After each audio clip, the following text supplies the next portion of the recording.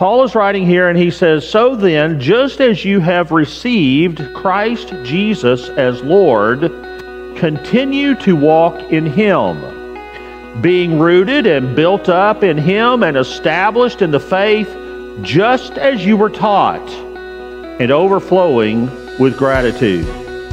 Now, as you look at verses 6 and 7, one of the things that I want you to try to understand is that everything that you see in these two verses is the direct result of what God has done for you. And I want to go back and talk for a moment or two, taking this in the context of Colossians, and establish for you what God has done for you.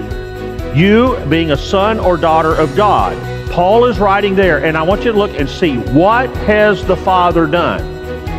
Well, here in verse 12, he has enabled you, make this personally. You could read this, me personally. He has enabled me to share in the saints' inheritance in the light.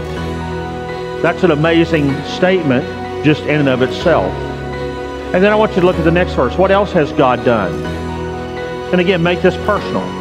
He has rescued me from the domain of darkness and transferred me into the kingdom of the Son he loves. But Paul is not finished yet. He continues to talk about what God has done for us personally.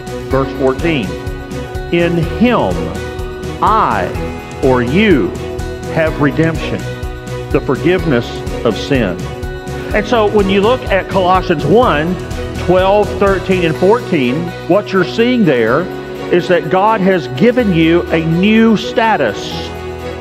This is your new reality. And I want you to understand that only God can make that happen. God is the only one that changes your status.